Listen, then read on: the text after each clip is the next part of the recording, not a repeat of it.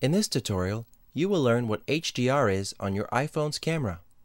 HDR stands for High Dynamic Range. An image shot with this feature on combines a series of three photographs, each of those shot at different exposures underexposed, overexposed, and properly exposed. When these three images are combined together, it creates an image that provides details in the highlights of the image as well as the shadows. Without HDR, these features would not be seen. Tap the camera app icon. This will pull up the live camera view and allow you to edit your settings to enhance your photos. Next, tap Options. This will bring up settings you can change such as Grid, HDR, and Panorama.